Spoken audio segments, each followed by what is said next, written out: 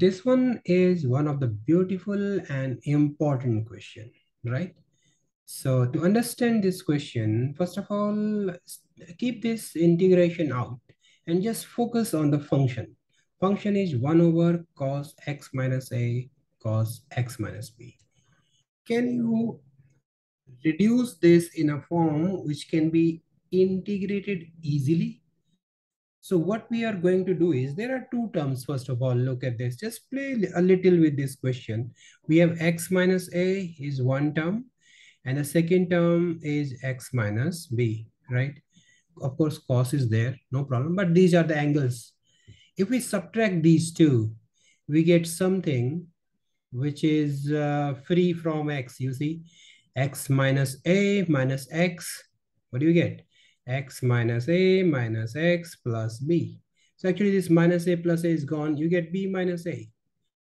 So now we are playing with b minus a. So what we are going to do is we are simply taking this function cos of uh, x minus a divided by cos of x minus b.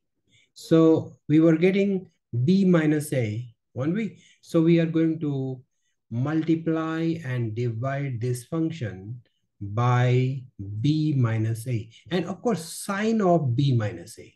Yes?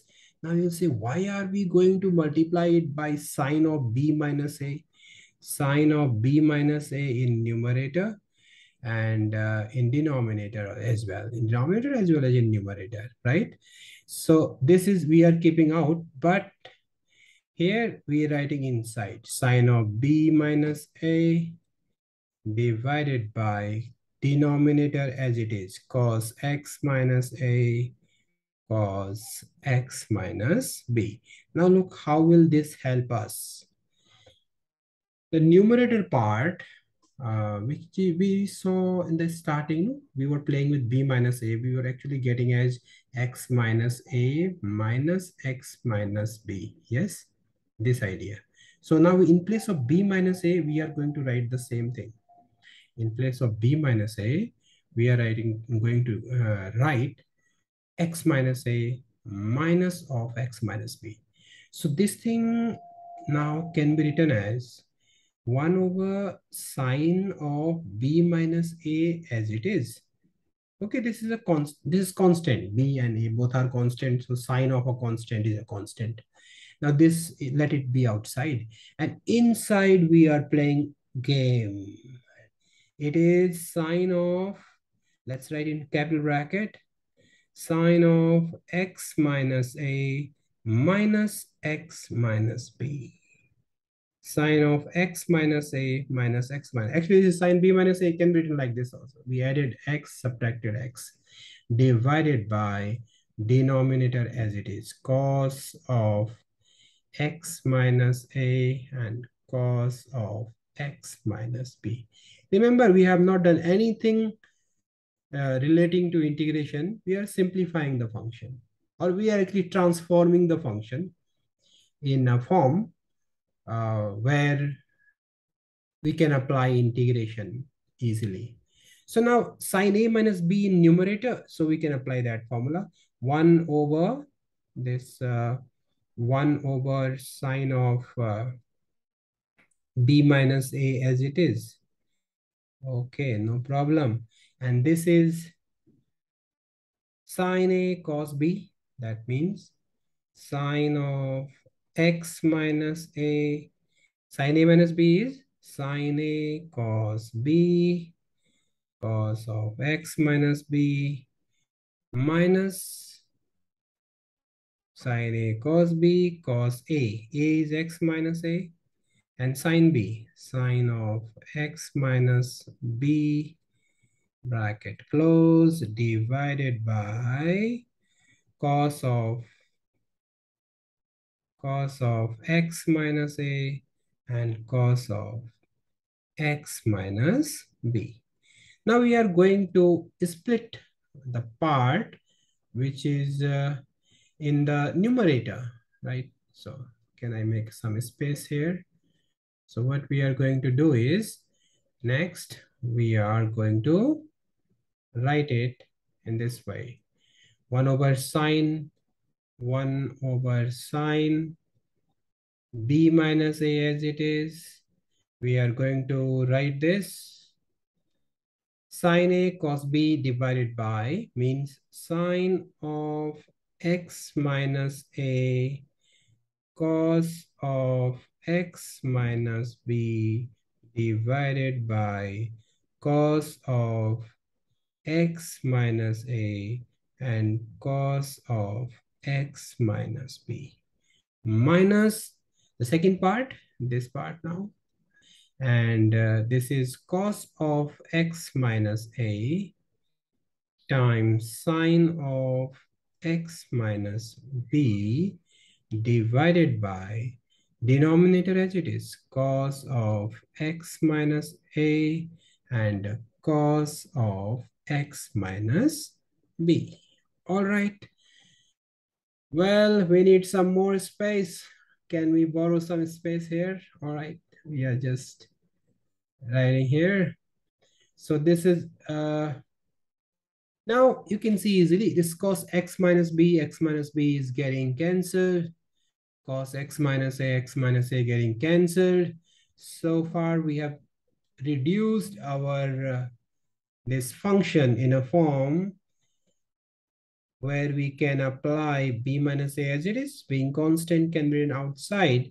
And inside now we are getting sine theta by cos theta, which is tan of tan of x minus a and minus sine x minus b means tan of x minus b and we are done. So this was the main part of this question, reducing this form in a form where in applying integration becomes convenient.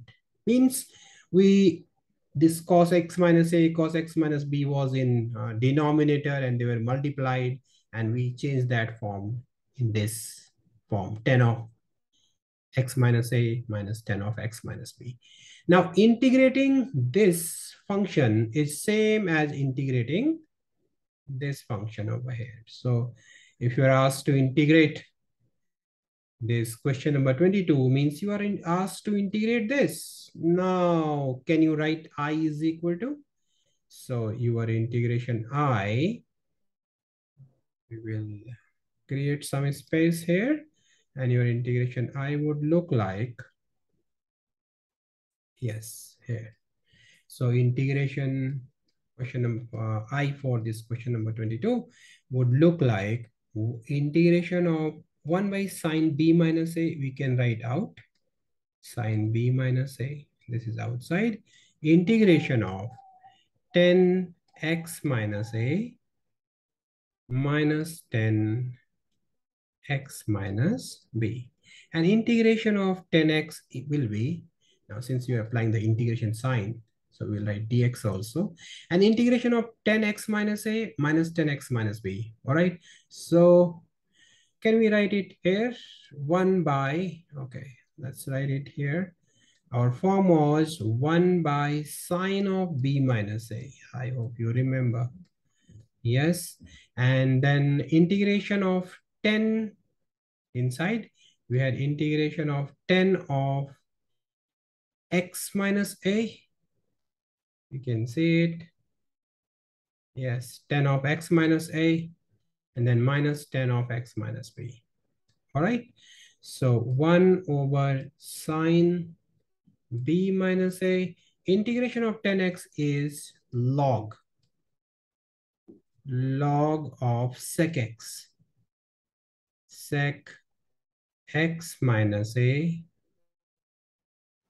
and uh, minus integration of again tan x minus b it was so be log of sec x minus b plus c? Right? That would be your answer. But we would like to write log a minus b as log a over b. So this question can be written as is equal to 1 over sine of b minus a and this part is log sec x minus a log sec of x minus a divided by sec of x minus b. You know, log a minus b is log a over b.